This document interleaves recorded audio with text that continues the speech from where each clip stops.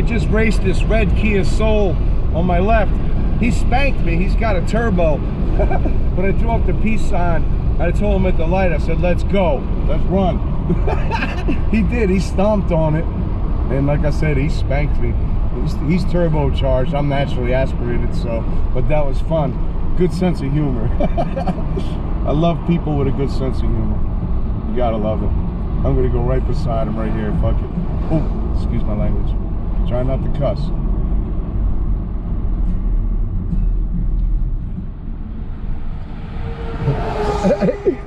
hey, no, is that turbo? No, Dude, you spanked me. this is just a basic. I hit it in sport mode, but I think you got the jump on me anyway. That, hey, that's cool. What year is that? 2019. Okay, this is 2017. Okay, Keep an eye on your oil level I've been doing that. every week. This burns a half a quart a month. You don't see smoke. You can park it for a week. You won't see a drip. There's no leak. I looked on the forums.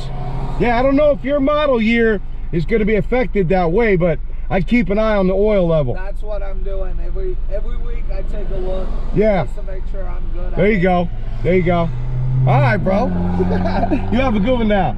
You too. Peace out, man. Enjoy. Have a good Memorial Day weekend. I'm working. So you ain't gonna get lit. No, Fuck. that's why I got today to do that. Hey, hold on. You want to be on YouTube? Yeah. You're on YouTube, bro.